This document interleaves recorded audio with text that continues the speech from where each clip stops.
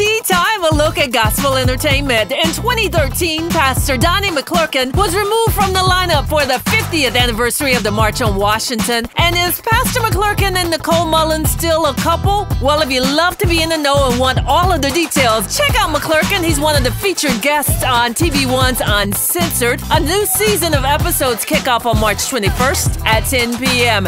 And Tye Tribbett's High Is now available via revival service online, of course. A virtual revival with Tye is coming to a city near you.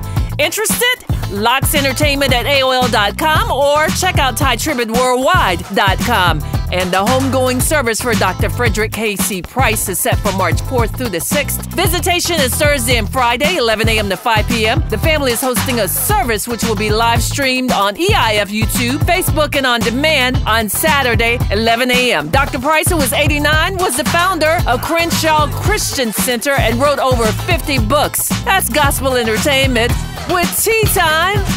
You know that's me.